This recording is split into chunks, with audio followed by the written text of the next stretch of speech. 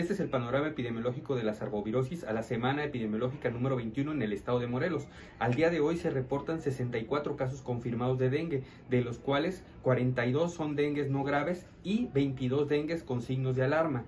Es un momento de reflexión y un llamado a la población. Nos encontramos en algunos brotes epidémicos en las regiones eh, del estado, como es en la región sur, en los municipios de Puente de Isla y de Zacatepec, en la región oriente del estado, en, en Azochiapan y Jantetelco, en el cual se hace un llamado a la población para reforzar las medidas de prevención.